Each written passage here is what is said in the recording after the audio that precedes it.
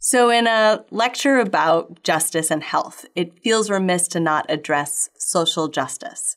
So, that's what we'll be talking about in this next section. So, it feels a little f- silly to define social injustice because it feels like something you, you see, know it when you see it, but so we're all on the same page. Social injustice is when s- specific populations or groups have their economic, socio-cultural, political, civil, or human rights denied or violated based on the perception of essentially their inferiority by those who are have more power or influence.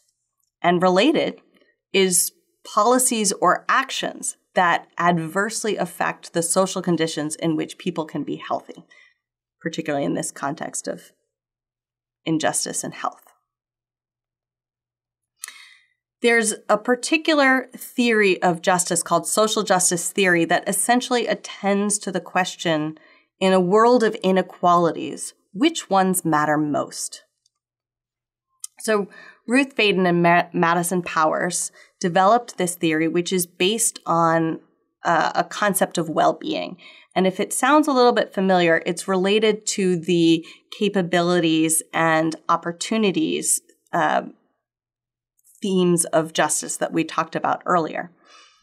Well being involves multiple dimensions, each of which represents something of independent moral significance. We'll talk about what those are in a minute. Essential dimensions of well being are those things which are pretty characteristically present in any decent life, no matter what a person's particular life plan may be. Social justice is concerned with those essential dimensions of well being because they matter to everyone. So, what are the essential dimensions of well being?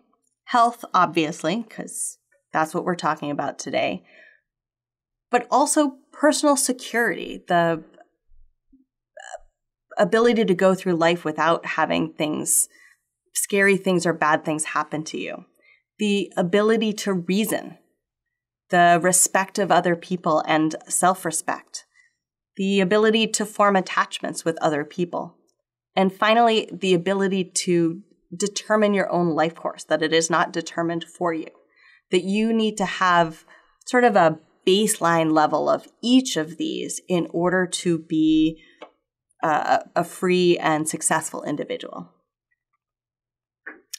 So, social justice theory says that it has two main jobs. The first of which is to identify when things go wrong. We talk a lot these days about vulnerable populations, but I like the language they use about people who are experiencing patterns of systematic disadvantage. What do we mean by that?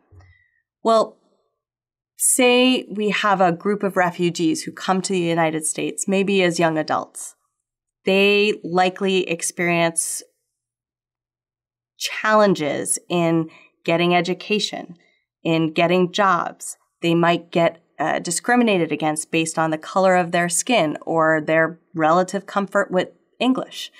They, that in turn will impact their ability to get health care and uh, be in sufficient health to hold jobs over the course of their lifetimes, maybe how long they live.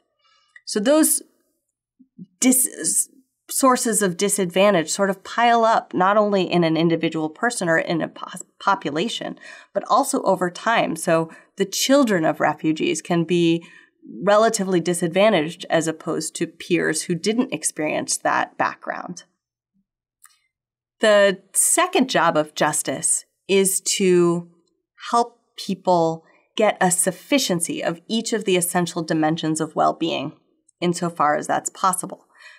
So not only do your, you as physicians ask about people's health, but in the model of care where you're thinking about the social determinants of health, you are thinking about asking people, do you feel safe in, in your house? Do you have enough food?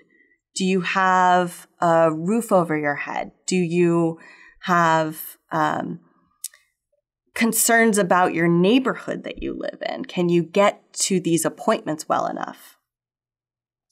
physicians hold a privileged position in society where they where you can speak out and we hope you do speak out over time where you see unfair situations that could be remedied. For those of you who have been following along in on the slides and want to know where the artwork came from, I just wanted you to know that it's from my family, mostly from my grandmother, Pearl Hardaway Reese, but there were also some artwork by my mother, Nancy Scott Hardaway, and my brother, this owl, uh, by Trevor William Harrison.